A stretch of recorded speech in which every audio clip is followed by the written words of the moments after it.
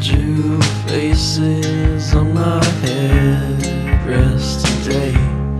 I put stickers all over my dashboard. I hung fairy lights from the top, draping down my Subaru 2004.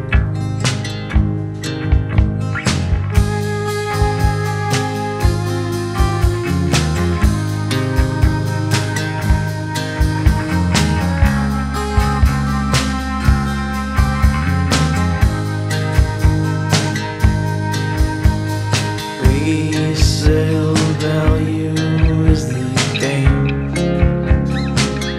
They like it best.